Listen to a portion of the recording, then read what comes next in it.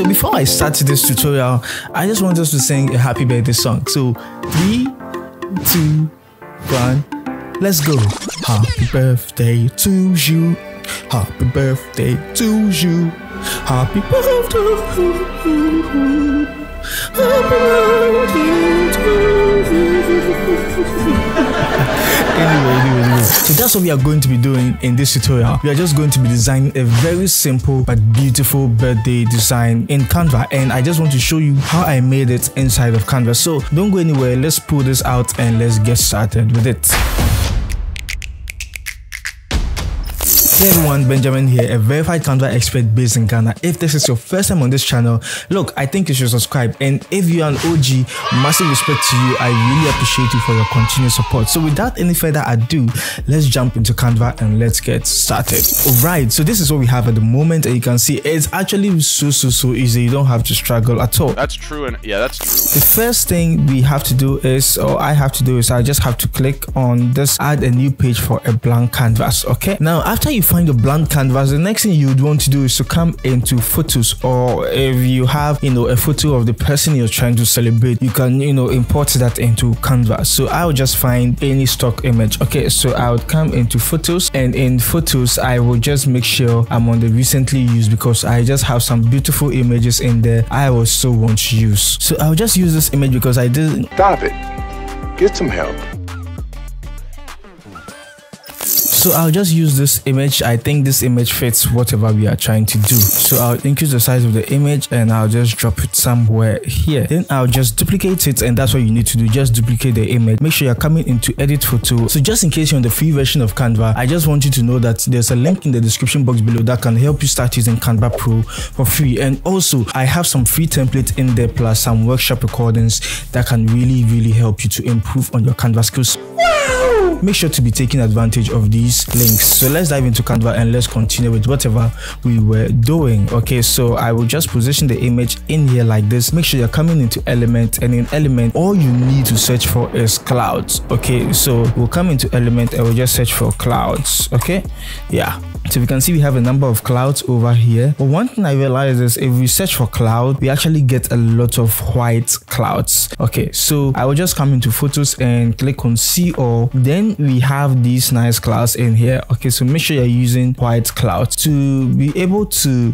do what we have to do next just click on you know add a page and we'll just move this in here. Okay so and i would want us to see whatever we are doing. So make sure you're coming to background color and changing it to any color at all. Okay so you just want to be duplicating this a number of times and just place it okay? Duplicate again and place it in there like that. Then select all and use ctrl g okay to group everything. Then another thing is you can add more you know variations or more samples to the clouds. So i'll duplicate this position here duplicate position here. Select all and use ctrl g to group okay? Then i select all and move it over here. Nice.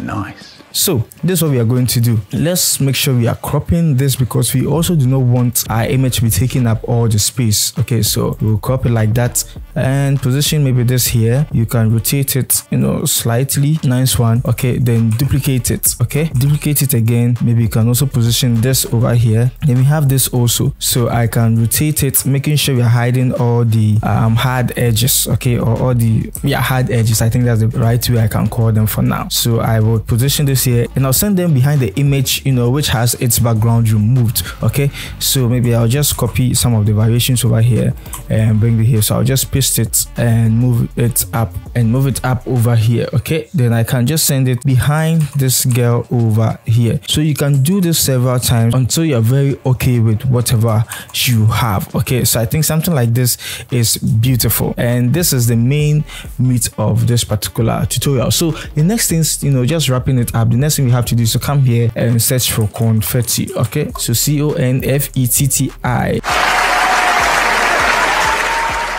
and there are so many confettis in here. So you can take some from here. You can also come into graphics and you can also you know have a lot of confettis in here. So what we'll just need to do is also to come back into um, elements and just search for happy birthday okay? So you should see a lot of happy birthday designs. You can choose any of them. So um, I I think this is the one I like. I'll choose this and hit it over here. I'll come into the color and change the color to maybe a yellow you know if just in case you wanted to match or any color at all of your choice. But we'll leave it like this.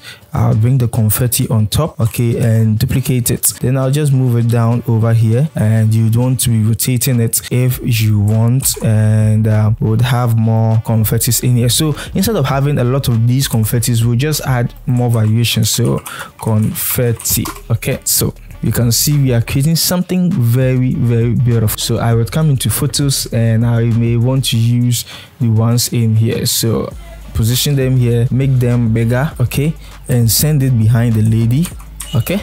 Nice one. Now bring this down a little bit okay because you don't want just have to be overclouded at the top over here. So we have something like this and i'll move this up a little bit.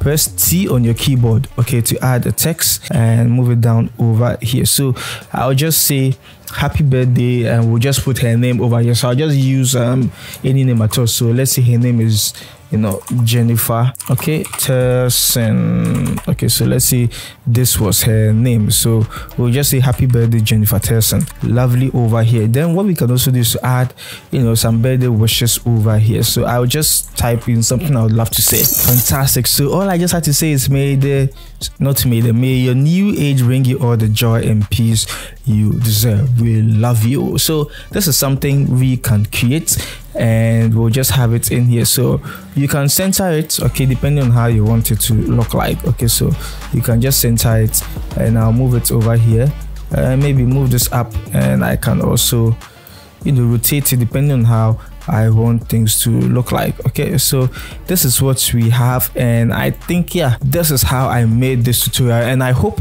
you found it helpful. One more thing I would want to say is that you can even find this template for free. The link can be found in the description box below, and don't forget you can use Canva Pro, and there are some workshop I had some time ago, which you can also watch the recordings for free. So the name is Benjamin. Don't forget there's no limit to creativity, and I should see you in my next tutorial. Yeah, started on a 50 mil lens. Now I'm about to bag 50 mil yen. I can shoot all day, I got stamina. Turtleneck on with my camera, yeah. Stay creamy, man, that's what they say.